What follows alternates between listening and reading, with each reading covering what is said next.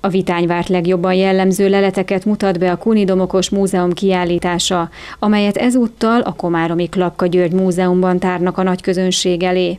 A Tatai Múzeum évek óta törekszik arra, hogy aktív közreműködője legyen a várfeltárásoknak. Az elmúlt évtizedekben 2008-ban Gerencsérvárának a föltárását kezdtem meg, majd 2012-ben Vitányvárát is. Ezek a várak fontosak abból a szempontból is, hogy hogyan viszonyult a középkorban, akár birtoklás történetileg, akár társadalom történetileg, ezeknek a váraknak, a váraknak a birtokai Tatához, illetve a később megépült Tatai várhoz. Tehát ebből a szempontból mindenképpen egy kiterjesztett tatai kutatásként kell tekintenünk azokat a régészeti feltárásokat, amelyek ezekben az irányokban zajlanak. Vitány vár talán az egyik legnagyobb olyan középkori várunk, ahol nem volt korábban régészeti kutatás, tehát az első régészeti kutatásokat a Tatai Múzeum tudta megtenni a gyűjtő területén levő, igazán vadregényes tájon fekvő romok között.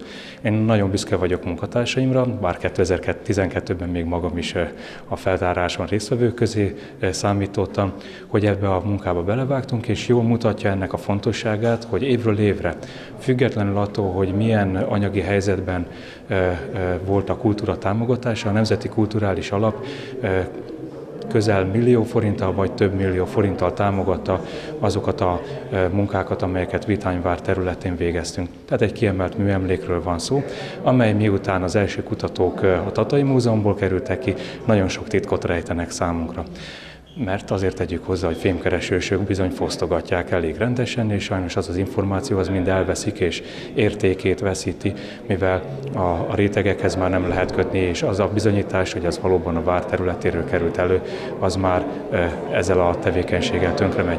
De a várnak olyan vastag az omladék rétege, hogy bizony kő, kemény munkával lehet hozzáférni, idézőjelben hozzáférni a legizgalmasabb rétegekhez, amelynek köszönhetően a vár építés történetére kap kapunk információkat, de nem csak az építés történetre, hanem egy kis képet kapunk arról is, hogy a várban élők milyen körülmények között, milyen anyagi kultúra között töltötték az idejüket.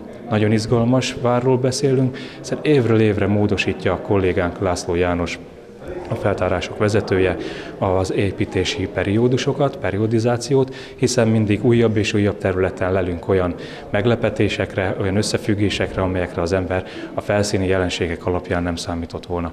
Így ez a kiállítás is ezt a 2018. év végi állapotot mutatja. Bízunk benne, hogyha jövőre egy újabb kiállítást nyithatunk, akkor további újdonságokat tudunk megjeleníteni rajta.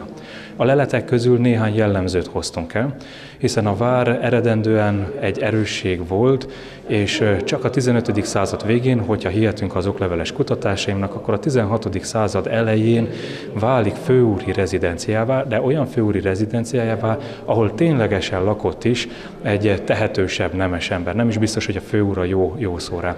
És ebben az időszakban késő reneszánsz díszű ö, átépítést végeznek. Ez a, ha valaki sétál ki a romoknál, láthatja az erkélyeket. A feltáráson előkerült és a kiállításon bemutatásra került késő reneszánsz kőfaragványok tömkelege mutatják azt, hogy bizony jó ízléssel, a kor divatjának megfelelően, de és elég nagy pompával újították föl ezt az épületet, amely ezután a Szerdahelyi Imrefi családnak a hát a rezidenciája, tehát a székhelye is lett. A kiállítást a Komáromi Klapka György Múzeumban nézheti meg a közönség a következő hetekben.